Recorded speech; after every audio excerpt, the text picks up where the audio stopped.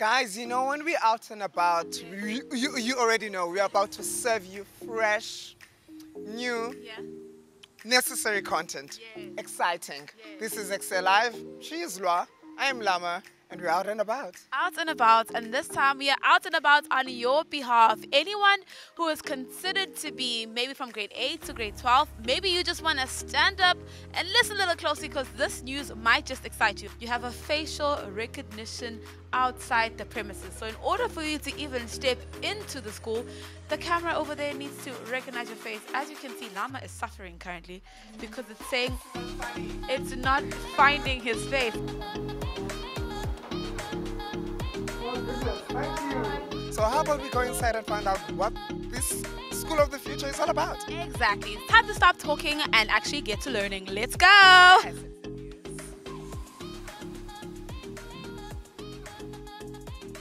Ladies and gentlemen, I know me and Lama said a lot of things in the intro, like it's an online learning, you can study uh, abroad. Like there's so many things that we mentioned. You're like, ah, Nandile, it's a bit too good to be true. Well, darlings, I have someone here who's going to be explaining a little further on what Valenture Institute is, and it's actually going to be explaining all the deep, needy details that you probably want to know. So we have the principal right next to me, who is Rick Greener, who has started this beautiful, incredible institute. Welcome, and thank you for joining us. Glandile, thank you very much. Thank you for hosting us, and uh, I'm in, in looking forward to this experience.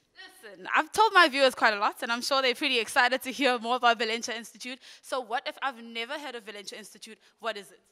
Oh, perfect. Uh, Valenture Institute is an online, globally recognized uh, in- institute which offers a high school.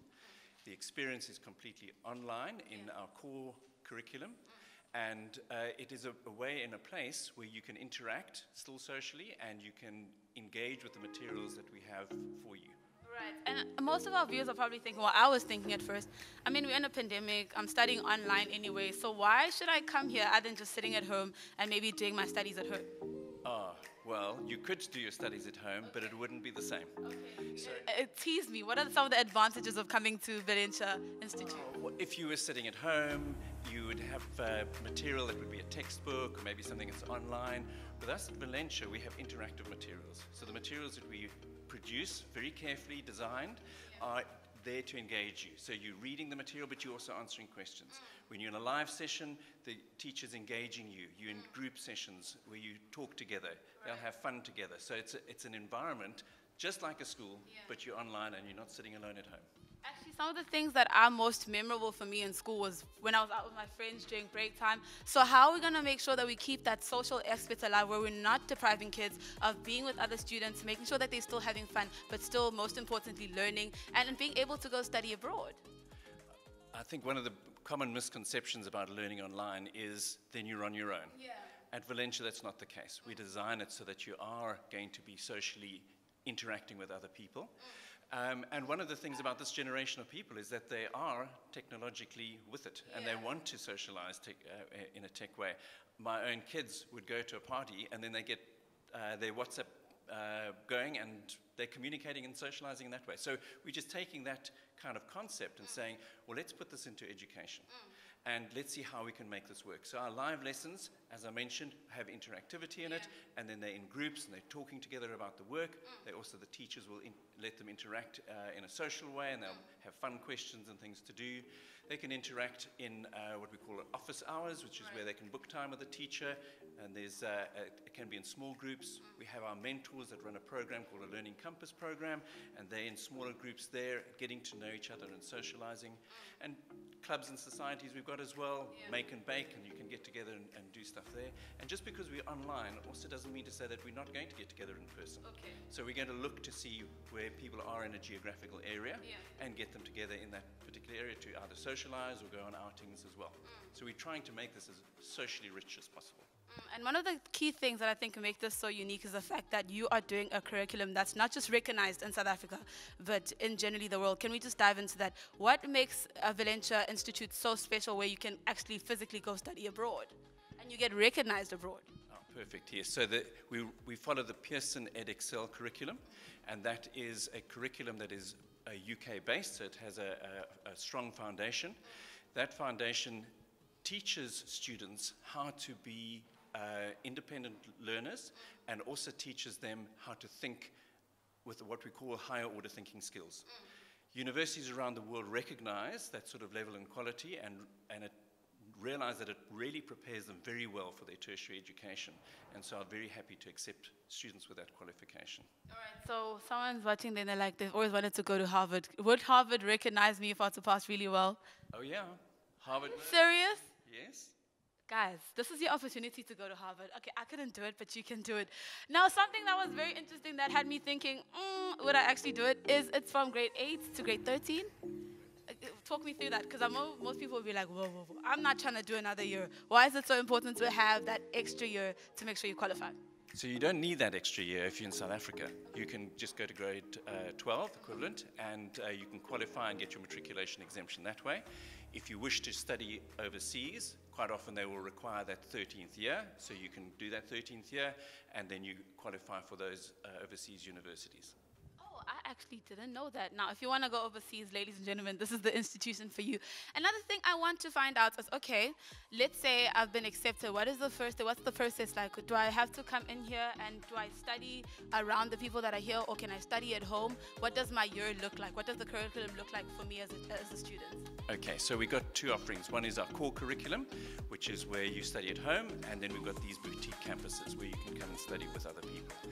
Um, and if it's uh, online in the core curriculum, you will go through what we call a general orientation course, where you get familiarized with what needs to happen uh, in this in learning environment, how it works, uh, how do you log on here? How do you submit your uh, assignments? You meet your teachers, you have little sessions with them as well. So we teach you all about how you operate in this environment, and then you start with your lessons. You've got your timetable and your learning plan, and you go through that week by week. So that's how that'll operate there. In a boutique campus, Yeah. you're doing exactly the same thing, but you're with other people here. So you can just lean across to somebody and say, hey, did, we're doing this, how do we sort Okay, I can get it. You can have a little chat, uh, break times, come down to the social area and you can have a, have a chat and, and socialize together. Right. And I am just, I'm tempted to say we're moving into a very tech savvy world where literally everything is on social media, technology to some degree. Do you feel like online learning is the future for the world in general, not just for South Africa, but for the world in general, especially with the pandemic? I mean, I won't lie, we've been forced to kind of be a social, uh, I mean, a tech age, but do you think that's the future, even if the coronavirus were to leave our, our world? I think one of the lessons that we've learned from the coronavirus is it's shown that online learning is a viable and effective alternative. Things were heading in that general direction anyway, and this has just accelerated it. People have realized, well, we have to go on, and actually, this can work.